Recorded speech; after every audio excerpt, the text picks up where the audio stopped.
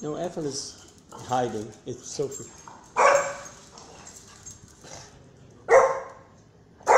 You guys play behind me. I can't video it.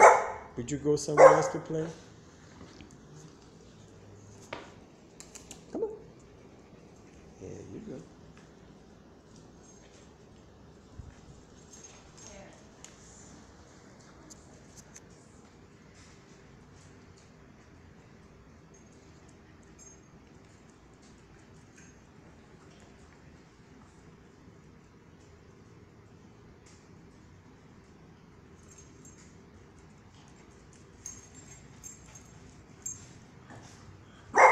Sophie, your mouth is scaring everybody.